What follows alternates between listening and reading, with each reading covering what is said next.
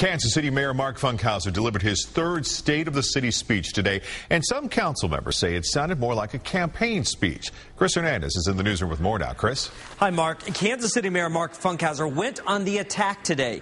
He spoke out against the Chamber of Commerce, against the media, and against the city's elite and developers. He also took credit for some things that his opponents say he should not have.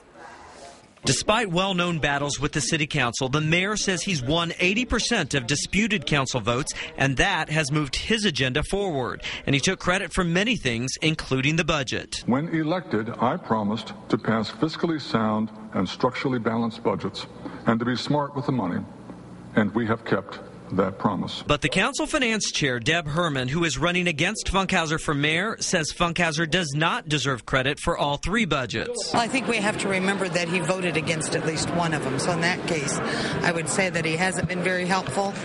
Um, it, it, has been my council colleagues. Funkhouser also said KCMO needs its own Chamber of Commerce, the way each suburban city does, rather than relying on the greater Kansas City Chamber of Commerce. I am tired of Kansas City being the neglected stepchild of the Greater Kansas City Chamber of Commerce. The speech had a populist tone, and Funkhouser repeatedly spoke to people who would be watching at home, saying, I choose you.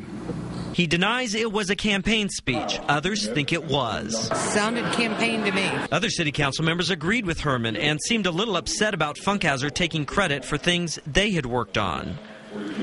Funkhouser and his wife, who ran his first campaign, both said today they, that they have not launched his reelection effort yet. But a short video clip showing the mayor talking about running for reelection was posted yesterday on the video sharing website Vimeo. And today, Funkhouser also compared himself to Truman, saying Truman had a shaky start in office as well. In the newsroom, Chris Hernandez, NBC Action News. hey, Chris, I, he kind of calls out the chamber there. I understand you just got reaction from them about what he said. Right. We had uh, talked to them, and we just got a statement from Pam Whiting, the chamber's spokeswoman. She says, quote, the mayor has said this kind of thing before. It is a sentiment that we do not hear expressed by the rest of the city council. She also goes on to say that the chamber is committed to KCMO and that more than 1,100 KCMO businesses are members of that chamber. All right, Chris Hernandez live in the newsroom. Thanks.